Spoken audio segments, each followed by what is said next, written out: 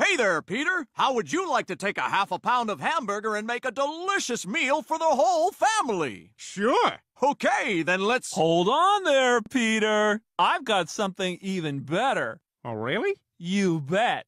How would you like to take a half pound of hamburger and make a delicious meal for the whole family with cheese? What? What?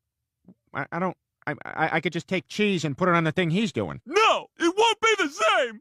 Look, he's my brother. He didn't get enough oxygen at birth. He's never going to be quite in step with the rest of us, and this is sort of my way of taking care of him. Well, that's nice of you, but it was so much simpler when it was just you and me doing our thing. I know, but just let him have this one. Odds are he won't even come back with the actual food.